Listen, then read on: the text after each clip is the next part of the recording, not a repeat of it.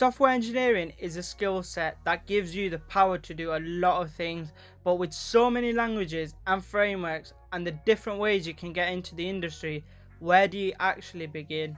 Well, before diving into learning tools and ways to get into the industry, we need to take a step back and see what is it that you really want to do. This could be thinking about the route you want to take, for example, going to university for three to four years or going to a boot camp which could cost around $10,000. If you take this route, the structure is already in place. So after the first hurdle, you just follow the course the university or the boot camp has. However, what if you're self-taught and learning everything yourself? What do you do and what should you learn? Hey friends, welcome back to the channel. If you're new here, my name's Hamad. I'm a software engineer based in the UK and on this channel we explore tech and code. So if that's something you're interested in, make sure to subscribe and follow the journey.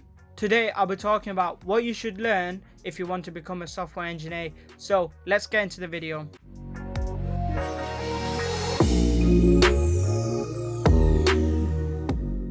Firstly, we need to look at what you want to do. Programming is a huge area and you can divide it into a lot of different fields. So you need to find out if you want to do web development, this could be front end, back end or full stack, application development, so iOS or Android development. These are just a couple of examples but have a research for different areas of software engineering and see what you want to do. Now if you choose one area it doesn't mean you can't dive into another area this is far from the truth. If you learn web development, you can easily transfer your skills into learning app development. For example, learning JavaScript and React for web, and then you can go into learning React Native for app development. So explore the areas which you want to work in because there will be a suggestion of different languages and tools to learn for that area. Which brings me nicely on to my second step, which is see what language is used in the field. Now there could be more than one. Different areas have certain languages but some have multiple languages that can be used. For example, to make an app for an iPhone, you can use Swift, and then for Android apps, you can use Kotlin. However, you can use React Native to develop apps for both Android and iOS. So research what languages you need to learn. Once you've got a list together of the different languages you can learn, have a look at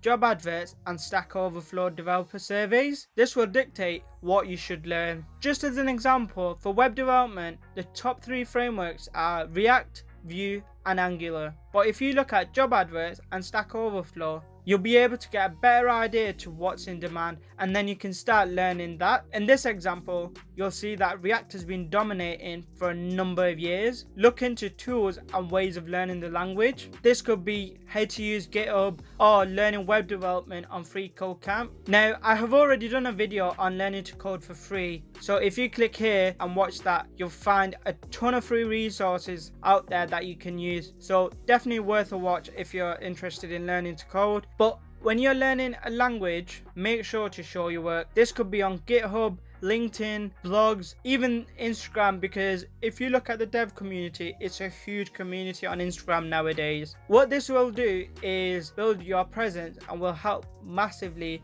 when you're applying for jobs because employers will be able to see your work. Finally, learn the language. Thinking about getting into tech is great, but start writing some code, building projects, and getting stuck in. And that brings me nicely on to the end of the video. So hope you liked the video. If you did, you know what to do. So on that note, I'll see you in the next one.